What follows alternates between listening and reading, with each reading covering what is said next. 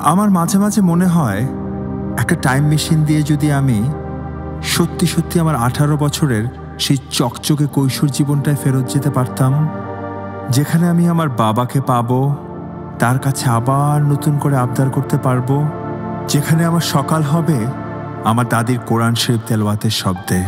আর বিকেল হলে বন্ধুদের সাথে গুলশান একের ক্যান্ডি ফ্লসের সেই আড্ডা। আর ঠিক তখনই আমার মাথায় একটা চিন্তা ভর করে। সেই সময়কালে তো আমি আমার সন্তানকে দেখতে পাবো না। তার মুখে বাবা ডাক শুনতে পাবো না। তার গায়ের গন্ধ অনুভব করতে পারব না।